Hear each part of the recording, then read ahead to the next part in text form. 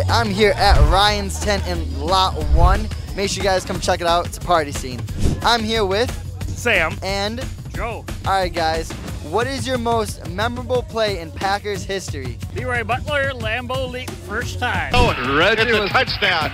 I'm just telling you why instant replay is coming back, Jim, because Reggie was stepping. Ah! Super Bowl 45, Aaron Rodgers to Jordy Nelson. Rodgers, Jordy Nelson, touchdown, Green Bay. For the touchdown.